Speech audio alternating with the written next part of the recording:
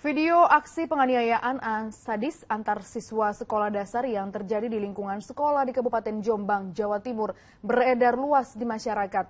Ironisnya penganiayaan dilakukan di belakang gedung sekolah selepas pengambilan rapor Sabtu kemarin. Seorang siswa kelas 5 sekolah dasar di Kecamatan Mojowarno, Kabupaten Jombang, Jawa Timur menganiaya teman sekelasnya hingga babak belur. Meski korban sudah kesakitan dan minta ampun, pelaku terus menganiaya korban secara membabi buta. Ironisnya, penganiayaan dilakukan di pinggir sungai, tepat di belakang gedung sekolahnya di SDN Japanan 1 selepas pengambilan rapot Sabtu kemarin. Setelah videonya viral, pihak sekolah berupaya mendamaikan kedua belah pihak dengan melibatkan orang tua dan kedua pihak akhirnya sepakat damai. Kedua orang tua tadi yang yang, yang terjadi tadi, saya kumpulkan di sekolah sini ajak musyawarah. Enaknya gimana? Gimana gitu.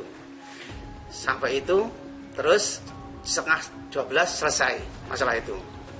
Secara kekeluargaan mas. Ya ini terbuka ya. Secara keluarga selesai beres. Saya buatkan surat.